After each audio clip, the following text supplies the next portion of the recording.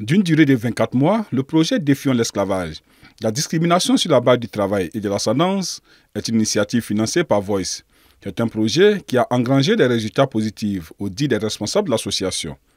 Euh, sur le terrain déjà, nous avons quand même constaté un très grand changement au niveau des, victimes. Aujourd'hui, nous avons des, victimes qui sont capables, euh, vraiment, qui sont à mesure euh, de vraiment porter plainte euh, ce qui n'était pas du tout évident au tout début. Et l'esclavage aujourd'hui n'est plus un déni au Mali.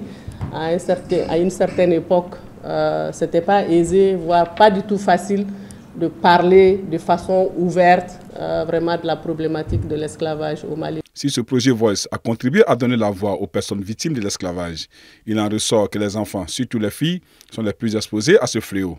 Aujourd'hui, nous avons des situations d'esclavage euh, qui euh, oblige des mouvements de population, parce que dans les zones de guerre, vous avez des enfants qui sont retirés à leurs parents pour être esclavagisés, et particulièrement euh, le nombre de filles est très très très important.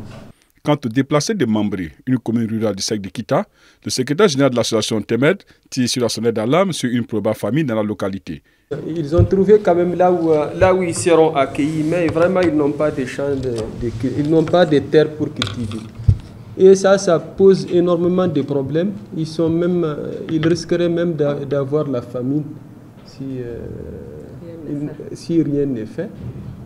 Si la pratique de l'esclavage persiste selon les responsables de l'association Temed, cela est dû au fait que sur le plan juridique, le code pénal ne criminalise pas encore cette pratique, d'où leur invite sur le projet de révision du code pénal et l'adoption de la loi spécifique sur l'esclavage. Nous avons encore des défis de, la loi qui n'a pas encore été adoptée par le gouvernement euh, du Mali.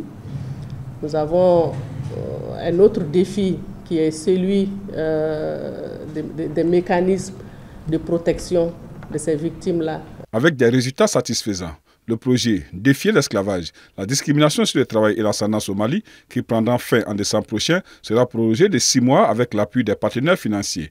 Quant à l'absence d'une loi spécifique criminalisant l'esclavage par ascendance au Mali, le ministre de la Justice, Mahamadou Kassougué, a pris un arrêté ministériel numéro 00863 du 11 novembre 2021 relatif à la gestion des affaires en lien avec l'esclavage par ascendance. Le Conseil des ministres a également adopté récemment un projet de loi sur le code et le code de procédure pénale qui criminalise l'esclavage par ascendance. Le CNT n'a pas encore voté le projet de loi.